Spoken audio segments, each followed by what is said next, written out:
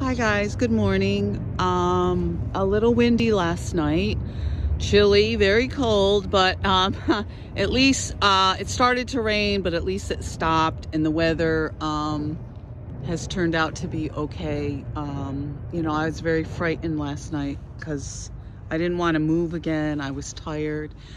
But anyway, um, shout out to someone, a compassionate stranger came by last night and brought some food um, a beautiful um, turkey dinner. Um, so God bless. And um, an, a, a, beautiful sleeping bag, a nice Coleman one. Um, so I just wanted to say God bless. Um, thank you.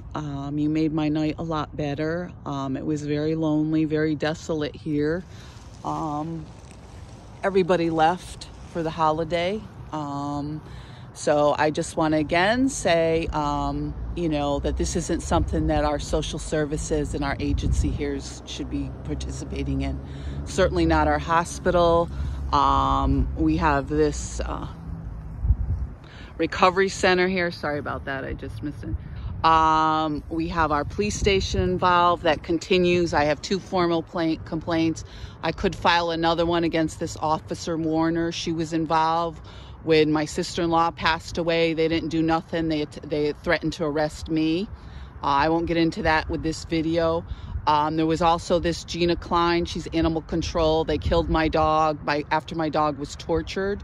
So I don't want to get into that. It is Thanksgiving, so I try to be positive, but there's not much positive to say in a community that continues to leave someone out on the street that they did this deliberately. Now they've made it so I can't get an apartment at all.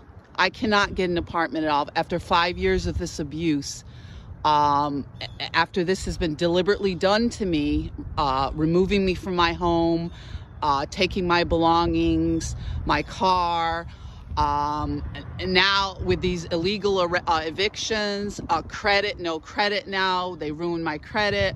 Um, uh, on and on I could go, but I'm running out of video time here. But suffice to say, um, you do this to someone and now you continue to prevent them from housing.